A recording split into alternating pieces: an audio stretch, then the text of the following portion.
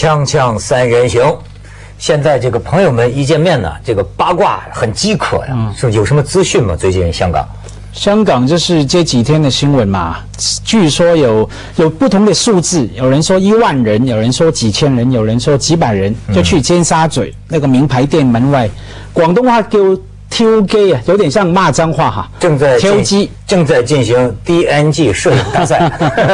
这 哎，你们谁会念这个 DNG 这个牌子？我不知道，我只知道两两个男的同性恋，是吗？啊，设计师两个男同性恋，那就是 Doris 和 Gabbana 同性恋是吧？Dolce and Gabbana，可是他因为意大利嘛，你随便念都可以，反正没人懂。J o r 那就行了。我这一回香港，发现 dog and go，对，就因为这 dog and go 是吧？香港爆发了群众运动，嗯，这个群众运动啊，我认为可以一咏三叹，嗯，它反映了很多很多这个问题。咱们先看看这个照片啊，尖沙咀海港城这个 DNG 的门口啊。这是香港人发起万人到你门口照相活动，你知道吗？你再看这个下一张，纷纷照相，然后再看下一张，这个这写的什么？做人别太 DNG 啊！这是香港忠告全呃八零后啊，忠告全港市民。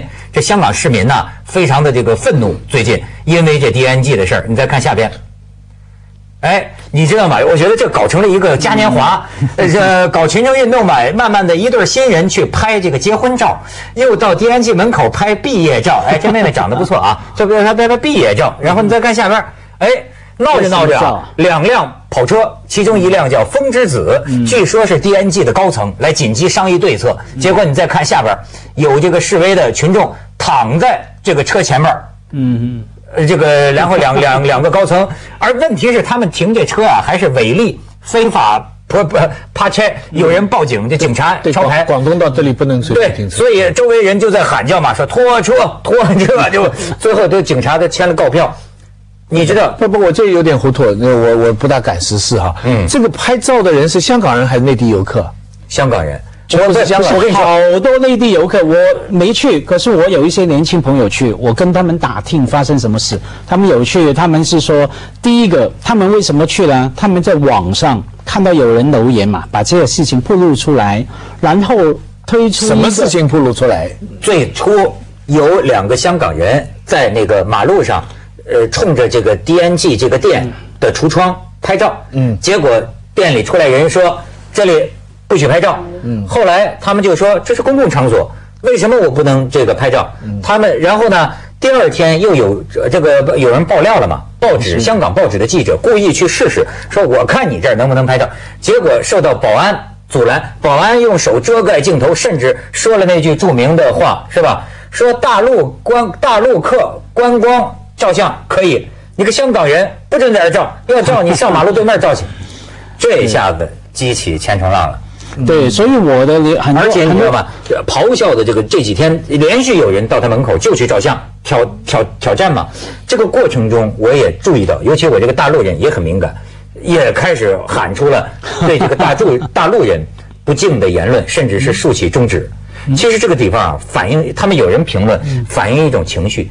他们骂他，不是有人画一个漫画？嗯，这个漫画画的，漫画画的一个大陆客，在那个 D N G 这店里边大便，嗯，抽烟，然后呢，说 D N G 这个漫画啊画的 D N G 的人员跟人说，他是大陆有钱人，他可以这么着，你个香港人不准这么着，你这么就就就，你像这种漫画当然是虚构的，但是但但真实的我看过。呃，就在这个元芳的 GUCCI 里边，嗯，我这是百分之一百真实的，我亲眼看见的。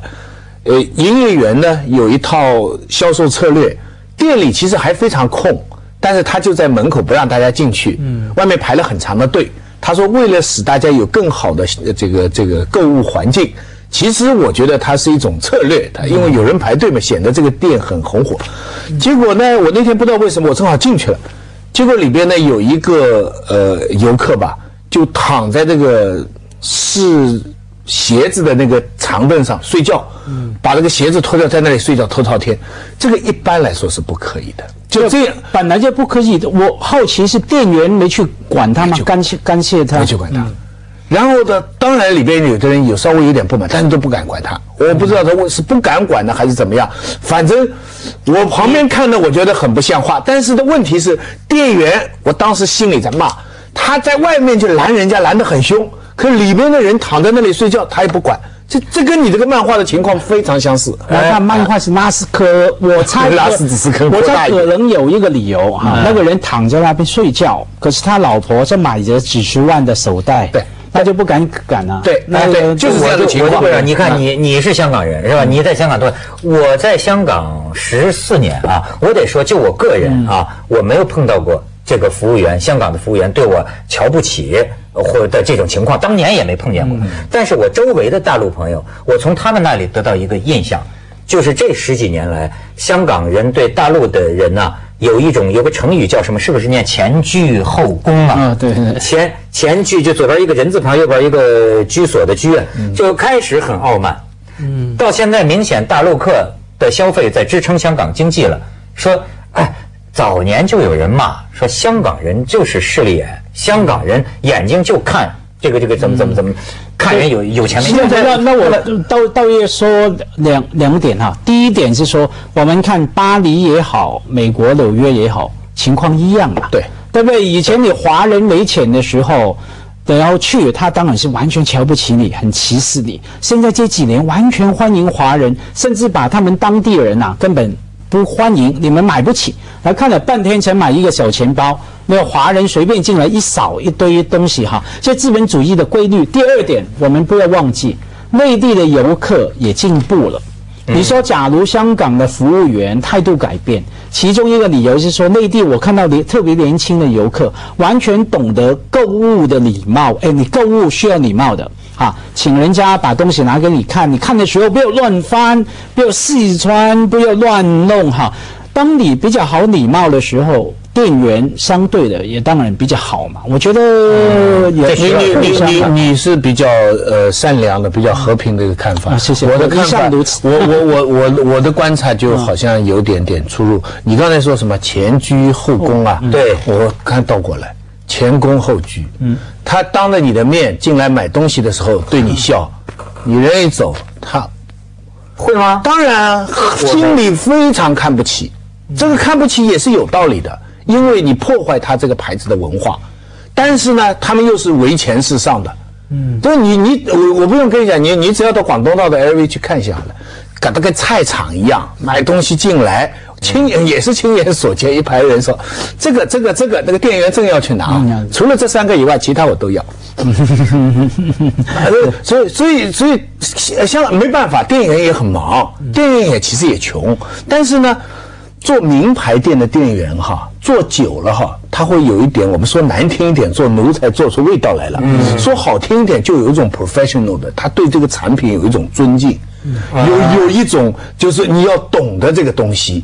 啊，我我碰到过个卖结 quả 的一个车行的一个人，哇，他讲起新改的结 quả，他很惨不忍睹。其实他是开不起的，他就是一个销售的老头儿。嗯，可渐渐很多名牌店店员也是这样。但是当你们以另外一种态度来消费的时候，嗯我看到的就是一种，我不能说谁对谁错了。可是这次被投诉的这个所谓 DNG，嗯，呃，好像跟你说的不一样，嗯，感觉上香港人现在为什么到那儿示威啊，讨厌他呀，嗯，就是觉得他对大陆客这个放你一马，呃，或者甚至是有意打开门，你在我这儿拉屎撒尿都行，但是你香港人你就不能拍照。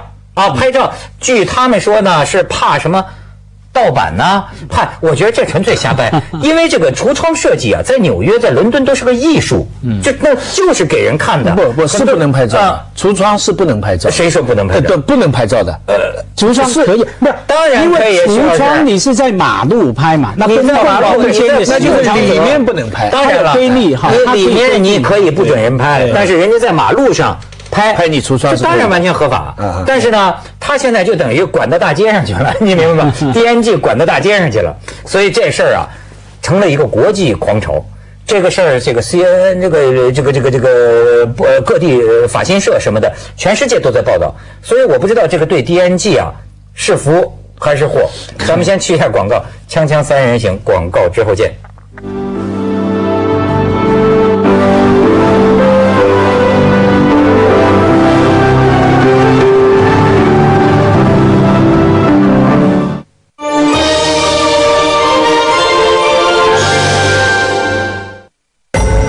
九韵古法，配桃花春曲，采无极之水，汇原酒精华，年份原浆，与景共酒。Wherever the long road may take you. Another. 东风日产，人车生活。他是学院派官员的代表，也是经济界参政党掌门。他民间是经济界人为主，我就不想过问政治。直言不讳打卖中小企业。中小企业大概有百分之九十，如果不逃漏税的话，它是个无法生存的。说到底，就是一个利益的问题。问答民建中央主席陈昌志，双喜午夜神问答神州，星期六凤凰卫视中央台。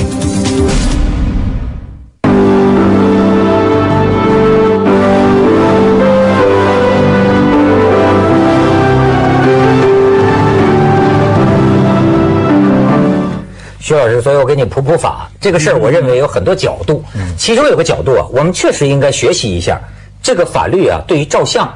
我看了一下他们关于这个事儿找的啊，但是我脑子里怎么想到的都是狗仔队呢？你这样，挺有意思啊。什么地方可以随意拍？呃，香港没有法律禁止市民在公众地方拍。呃，就像你说的，如果是私人的屋里头，人家可以不让你拍，对吧？可不可以站在公众地方拍摄私人地方？嗯，这个很关键。我看了之后啊，我都发现呢，香港狗仔队，我觉得那么下三滥的事儿，就是站在外头啊，远远的拍人家明星家里边的性生活，嗯，这么下三滥的事儿，但是竟然呢，合法的也是合法的，就是你就是说你在公众地方，你拍肉眼看得到的私人的地方，嗯，那么都会当做这是向公众展示的物品。你们家不拉窗帘就是橱窗，你知道吗？可以进行拍摄。然后呢，拍店里边橱窗里边含版权的产品和商标，是不是违法？这就是 DNG 的这个理由嘛。呃，法律上讲，除非你能证明他拍你这个商品或者商标是拿来牟利的，你举证，那么达到贩卖目的才可能构成侵权，否则都当做是向公众展示的啊。那么，如果街上被人拍下相片可不可以要求拍摄者删除或者控告对方？讲香港没有肖像权，拍摄路人没有违法，你也无权要求他删了照片。但是如果你觉得他拍照片滋扰了你啊，你或者侵侵犯了你的私隐，你可以向法庭申请禁制令，要求他停止拍摄和刊登。那么这很有意思，什么情况下，即使你在公众地方拍，也会被检控？就是说啊，也不是说都行啊。他如果刻意的把照相机接近你身体的某一个部位，比如说刻意的拍你的胸，或者刻意的拍他的这个裙下，可以说你哎的性骚扰。这个有机会被控行为不检。嗯，这也就是你明白吗？假如说一狗仔队啊，我有这个变焦镜头了，嗯，我离得远远的，我就是拍你一女人这大胸。也没事我也没事，拍小胸小胸也没事小胸当然 小胸小胸拍得着小胸拍不出来。哎，我要是定焦，你看我现在玩相机，我这是定焦头，定焦头你拍同样的画面，你这么拍 就不行，嗯，你知道吗？我我这个呃以前上一课就是有一次我们跟那个王菲吃夜宵出来，哦你记得吧？对对对我们三个人被一些记者在我们面前拍，我我当时想阻止他，文道说别去别去，你去阻止他，他明天把你那个阻止那张照片登在报上了。原来他有权利可以这样拍的。呃，对对对，你说的对。所以呢，我跟你我跟你讲，这事儿啊，对这个这个狗仔队很有意思啊，并不是所有国家都是这样的。你看啊，呃，在美国。公众场所拍到的私人物业和香港一样是合法行为。肖像权方面呢，一个人出现在公共场所，法律上他的隐私权也随之消失，除非你在厕所，这是你理应享有的地方。但是这是美国，所以不一样。法国为什么我要当法国人？为什么我要当法国人？法国肖像权方面的限制有严格的私隐权保障法律，在法国的公共场所拍摄不受限制，但是你拍了之后，如果你要出版，就必须得到象征人和物品持有人的同意。一九八八年，法国夺得世界杯以后，报馆上街拍这个庆祝的人群，刊登之后，大批读者控告报章侵犯私隐，就没经过我同意啊。不少人获判胜诉，嗯，赔。你知道吗？这所以为什么要当法国人？而 英国呢？英国呢？英国呃呃，这个这个这个，你看苏丹。就是任何旅客拍摄之前都需要向当局申请，这 个苏丹，就是都都都不一样啊。北朝鲜的，呃，他们连北朝鲜您买照相机也要先申请。然后中国法律，你你小心啊！我按照香港律师对中国法律的解读啊，大陆的狗仔队是不合法的。嗯，怎么讲？中国法律并没有明确列明摄影权，但是中国法律列明公民有肖像权。如果有人因为被拍相片导致利益受损，或者被人拿你的相片获利牟利，被拍者可以要求赔偿，明白吗？也就是说，你大陆狗仔队拍了，只是明星没有没有索赔而已。嗯，实际上你是卖听你这么说，中国跟法国是比较接近的，啊，最保护肖像权的。所以为什么中法友好年呢？但这里边有一条非常微妙，你看都牵涉到你拍了照片是不是拿去发表，是不是拿去做公众用途？现在的问题，以前发表不发表的界限很明白，我拍的照片在我的相机里就没发表，我登到《苹果日报》就发表。现在上微博，这算不算发表？上微博算发表的，当然上微博，微博是我的信箱啊，那是公在我自己里边它是你的。橱窗，它是你面向公众空因为间的你在橱窗。你的东西可是放在一个地方，所有人只要愿意都可以看得到、拿得到所以。微博也算发表。当然当，然这这是常识还是法律定义？这是法律，所以所以你就不能在微博，不能在你的博客来写乱七八糟的东西，不能把裸照等等。那理论上，比方说我我前几天在一个停车场，有有人好心拍拍我一张照啊，他没什么坏心了啊，他就我见到徐志东匆匆忙忙走过，嗯拍了一张照，他就放在微博上。那理论上，如果我愿意的话，我可以你看他提出法律交涉。在大陆，你证明他牟利，他登你这张照片，他是不是卖了？不还有他得得了钱了？不，但如果他没得钱，但是他对你造成了伤害了呢？啊那你要证明了你要证明，你要举证嘛，他不告不理，你举证损害了你的利益。嗯，对，有两个要件，第一个是说他有牟利、商业用途；第二个对你构成伤害，可能你损失你的利益，或者说对破坏你名誉等等。或者最后你老婆找你算账了，你旁边有个人，那没错损害了我的家庭啊。对对文涛说这个家庭，文涛说这说这个日本有案例，日本呢曾经发生这样的事情哈，有个女的可能婚姻不快，心里有点怪怪的，也可以说心里变得非常正义哈，他又专门专门去抓那些呃偷情男女。她每天做什么呢？每天去那些时钟宾馆、酒店门口，拿着照相机，谁进进出出，他都拍。拍完之后呢，就上网，然后弄了一个网站叫做“请来这里找寻你的老公”，那很多家庭主妇就上去看了，看看每天要看过才安心。今天看了啊，我老公没出现在这里，才安心。后来就有案例了，有一个男的被他抓到，然后又被老婆看到，就申请离婚。然后就赔偿很多，然后呢，他就去告那个日本女人，说你干涉我的私隐，而且发布我的影像，而且构成我破坏了影响我一辈子的命运哈，打官司打到法院去。那到底谁赢谁输呢？我不知道，我没有跟进这个事情，只知道打了官司哈。所以我我我我，咱们先去下广告啊，锵锵三人行，广告之后见。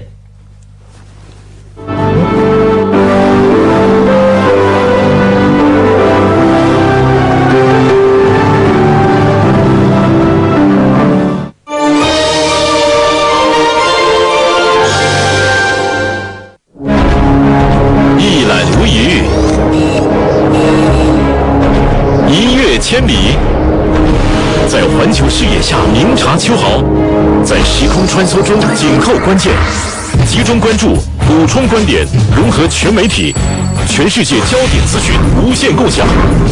二零一二凤凰卫视强档云信息直播节目《天地一号》，凤凰焦点关注，星期一至五凤凰卫视中央台。十五瓦能做什么？格力伊赫兹变频空调，国际领先，最低功率只需四十五瓦，让节能舒适一路领先。格力掌握核心科技。科技是品质的源泉，责任是品质的保证。品质改变世界，三一重工。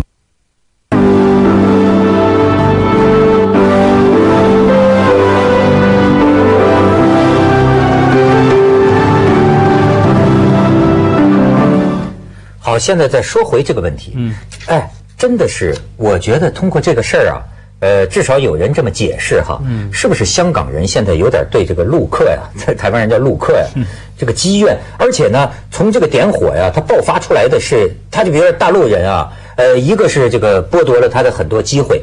呃，包括前一阵儿说大陆孕妇到港产子，逼爆了他的什么医疗资源。他他们说啊，就很多事儿，香港人的意思早就忍你很久了，是不是？对，没错，因为我前面有有一个说法，一直想讲，被你打断了，就是说不好意思，我问那些年轻朋友啊，他们说其实也不了解整个事情，可是他们在网上看到一句留言，他们就去了去抗议。留言是说，别歧视香港人。别优待大陆人，他们看到这样这样这样这样留言，他就去了。他根本不知道什么公共空间拍照不拍照，他看到这个就去。为什么呢？我们知道嘛，刚才文涛也说了，什么孕妇来香港产子什么，每天你看到报纸都有相关的新闻。今天的新闻是什么？所谓双飞啊，父亲母亲都不是，都非香港居居民的人。对啊他们来香港生了小孩嘛，就算香港居民就算香港居居民了嘛。现在出现什么情况？几年前有一个小高峰，有几万人来生了小孩，嗯然后带到大陆去哈。现在来了，他们小孩三岁四岁要来香港读书，书了，读幼儿园，对就对几万啊，有四万人啊。听说记者去调查，连在北京啊。都想说把小孩送来读幼幼儿园，就挤占了你的资源，而且香港人最恨的一个啊就是楼价，说大陆那些个有钱人呐、抬高香港的楼价，那他们来香港拿什么一行李箱一行李的钱钱到香港不是？说这个我要了那个我要了，是他所以他们有些人说香港楼市现在不跌这么高起，跟大陆人很有关系，因此你想他不恨吗他嗯，对不是，我想来想去，这个 DNA 还是他们策划的一个广告。？DNA DNG 啊 DNG，就像上次郭美美的事情啊，玛莎拉蒂是最大的得益者，对不对？黑马是最大的，现在他也是，因为这个同性恋的牌子本来人家读得很绕口嘛，对不对？现在搞那么多人知道，我觉得他们是最开心了。他们千万那排那批名牌店呐、门口养一些人呐、把人家拦在外面，我觉得他们的目的就是要引起人家注意。现在用这么一个方法，我觉得他老百姓里是开心的。现在啊，你知道香港展开的是名牌名牌店摄影大赛，就是记者啊轮流各店去过招。